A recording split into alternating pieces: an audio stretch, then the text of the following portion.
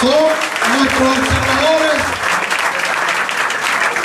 internacionales presentes, Maimalina, Lucila, Luciano, y Francisco que no lo vean por allí.